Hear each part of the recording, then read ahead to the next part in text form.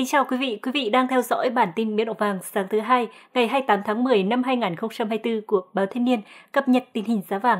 Bản tin được phát từ thứ hai đến thứ sáu hàng tuần trên thanh niên.vn và kênh YouTube và TikTok báo Thanh niên. Thưa quý vị, giá vàng trong nước đứng yên dù trên quốc tế vàng đã giảm mạnh hơn 13 đô la Mỹ mỗi ounce trong những giờ qua. Điều này dẫn đến giá vàng trong nước đắt hơn quốc tế lên 5,1 triệu đồng mỗi lượng thay vì 4,7 triệu đồng mỗi lượng trước đó.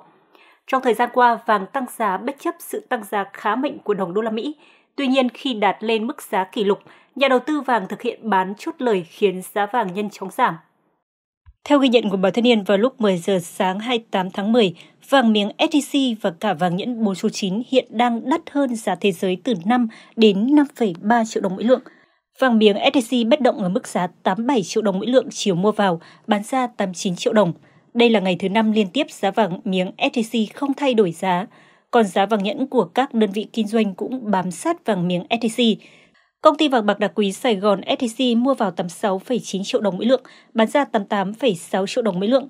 Công ty cổ phần vàng bạc đá quý Phú Nhuận PNJ mua vào 87,6 triệu đồng, bán ra 88,2 triệu đồng. Công ty cổ phần tập đoàn vàng bạc đá quý Doji mua vào 87,9 triệu đồng, bán ra 88,9 triệu đồng. Đến với mục sóng tỷ giá, thưa quý vị, giá đô la Mỹ trong các ngân hàng giảm nhẹ, nhưng thị trường tự do tăng cao trở lại trong sáng đầu tuần. Sáng 28 tháng 10, giá đô la Mỹ tại các ngân hàng thương mại giảm nhẹ. Cụ thể, Vietcombank mua đô la Mỹ chuyển khoản ở mức 25.194 đồng, bán ra 25.464 đồng, giảm 3 đồng so với cuối tuần qua. Tương tự, ngân hàng ACB mua đô la Mỹ chuyển khoản với giá 25.200 đồng, bán ra 25.464 đồng, giảm 3 đồng Riêng giá đô la Mỹ tự do tăng trở lại khi mua vào 25.600 đồng và bán ra 25.700 đồng. Trong khi đó, ngân hàng nhà nước vẫn duy trì giá mua giao ngay ở mức 23.400 đồng mỗi đô la Mỹ và bán ra 25.450 đồng như cuối tuần qua. Giá bán đô la Mỹ của ngân hàng nhà nước bằng giá bán cho các ngân hàng có trạng thái ngoại tệ âm để chuyển trạng thái ngoại tệ về không kể từ ngày 19 tháng 4. Trong khi đó, giá đô la Mỹ thế giới tiếp tục đi lên, chỉ số USD Index đạt 104,35 điểm, tăng 0,2 điểm so với hôm qua.